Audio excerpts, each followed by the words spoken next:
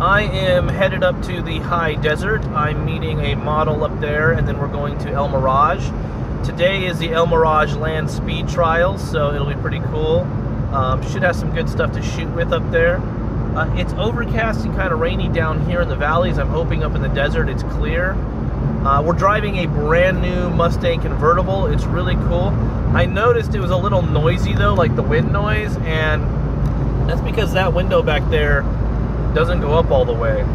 So that's kind of uh, surprising. The Fords have usually been pretty good, but who knows what's happened to this one.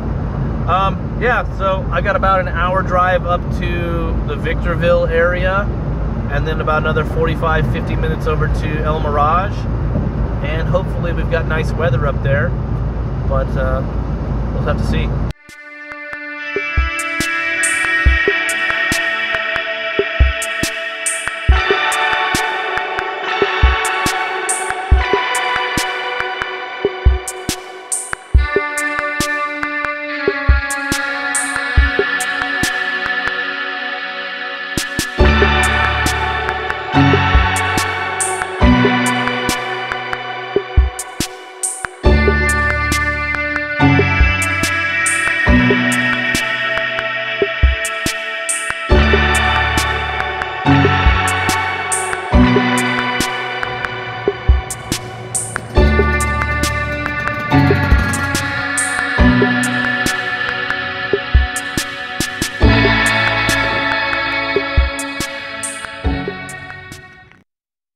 Anemone is doing her makeup.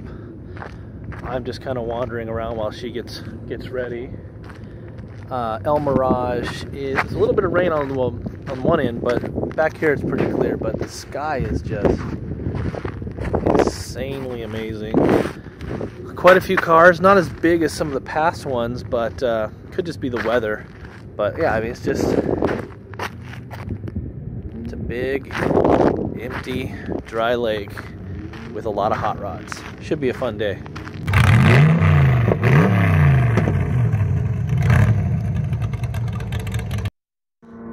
Like a scene out of Mad Max, here comes a gyrocopter, kind of standard fare for El Mirage. It's basically like a go-kart helicopter.